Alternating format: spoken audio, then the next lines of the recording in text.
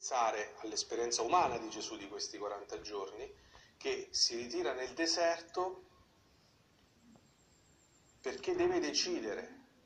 come interpretare il suo essere figlio di Dio, come realizzare la sua missione di, di, di unto del Signore, come salvare il mondo, come,